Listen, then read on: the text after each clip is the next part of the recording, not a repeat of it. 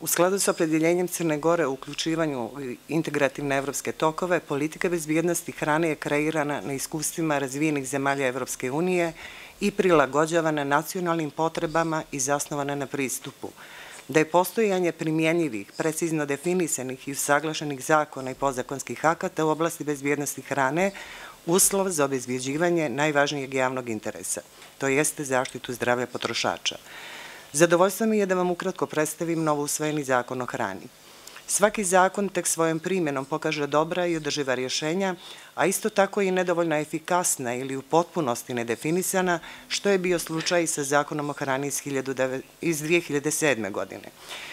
Ključni razlozi za donošanje zakona bili su prvenstveno, kao što smo već čuli, usaglašavanje postojećeg sistema bezbjednosti hrane i uspostavljanje boljeg sistema sa jasno definisanom piramidom odgovornosti, obaveze i ovlašćenja, unaprijeđenje organizacije službene kontrole u skladu sa standardima EU, planiranje kontrola u skladu sa načelom analize rizika, sprovođenje kontrola po utvrđenim procedurama, primjenom odgovarajućih metoda i tehnika kao što su inspekcija, monitoring, uzorkovanja, revizije i sl.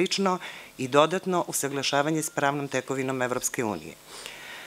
Takođe je zadovoljstvo istaći da je ovaj zakon prepoznat kao zakon od opšteg javnog interesa i da je jednoglasno usvojen na sjednici parlamenta u septembru 2015. godine, objavljen u službenom listu broj 57 i stupio je na snagu 15. oktobra ove godine.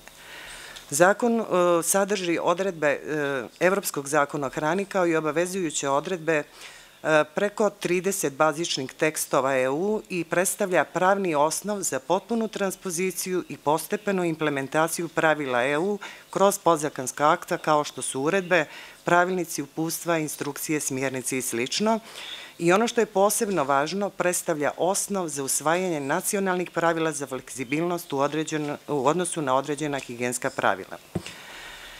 Kao što svi znamo, donošenje pravnog okvira je najvažniji koraka izgradnje sistema, mada to nije sve. Potrebno je odmah i stalno raditi na stvaranju uslova za implementaciju ovih propisanih odredbi.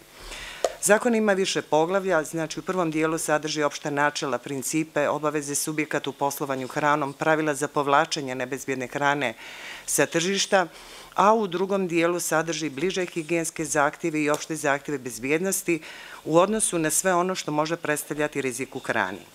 U odnosu na ranije važeći zakon, ovim zakonom je stvorena mogućnost da sačuvamo našu tradicionalnu proizvodnju hrane, odnosno objekte sa manjim obimom proizvodnje i poljoprivredna gazdinstva na kojima se proizvodi hrana namijenjena prodaji na mjestu proizvodnje ili na lokalnom definisanom tržištu krajnjem potrošaču na način što ćemo definisanjem nacionalnih uslova i ostupanja od strogih higijenskih zahtjeva utvrditi i količine proizvedene hrane, način plasmana i ono što je najvažnije uslovima u kojima će se proizvoditi ta hrana. Ova pravila, ova pravila fleksibilnosti ili dozvoljena ostupanja prvenstveno se odnose na ostupanje u dijelu infrastrukturnih zahtjeva kao što je dozvoljen manji broj prostorija ili sama uređenost unutrašnjeg dijela objekta kao i upotreba određene opreme pri proizvodnji posebno hrane primjenom tradicionalnih postupaka. Takođe ovim zakonom je u odnosu na raniji zakon definisana i mogućnost ostupanja, odnosno fleksibilnost na uspostavljanje e, kontrole kritičnih kontrolnih tačaka ili takozvano HACCP sistema na način što je ostavljena mogućnost da u objektima koje sam pomenula, znači koje su područje gdje ćemo primjenjivati nacionalna pravila fleksibilnosti, neće biti neophodno uvoditi klasično uspostavljen eh, HASAP sistem, odnosno postupke zasnovane na tim procedurima, već će sprovođenje dobre higijenske prakse biti potpuno zadovoljavajuće svakako u odnosu da li se radi o vrsti proizvodnje gdje nemamo nekih kritičnih eh, kontrolnih tačaka. Ova nacionalna pravila eh, dozvolit će odstupanja, ali sva ta odstupanja ne smiju biti na uštrb bezbjednosti proizvoda koji se stavljaju na tržište. Dodatno, zakonom je stvoren i potpuni pravni osnov za postepeno usaglašavanje objekata za hranu sa EU standardima do dana pristupanja Crne Gore Evropskoj uniji. Šta to znači? Utvrđena je obaveza sprovođenja prosjene trenutne usaglašenosti objekata za hranu koji su odobreni prema ranije važećim propisima i razvrstavanje objekata u jednu od, tri kategoriju, zavisnosti od obima i vrste neusaglašenosti koje u njima bude utvrđena.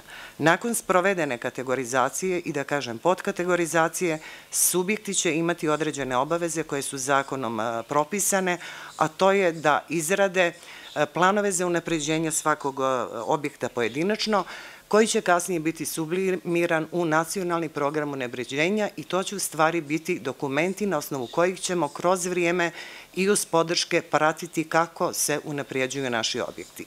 Cilj je svakako ono što smo čuli od ministra, sačuvati domaću proizvodnju i dati priliku svim operaterima da unaprijede svoje objekte. Ovim projektom nastavljamo proces dalje izgradnje sistema bezbjednosti hrane uz podršku Evropske unije, a koje su nastavak aktivnosti realizovane kroz projekte o kojima je gospodin Liz govorio. Veoma je važno istaći da svi treba da budemo svjesni svoje odgovornosti i uloge u sistemu bezbjedne hrane.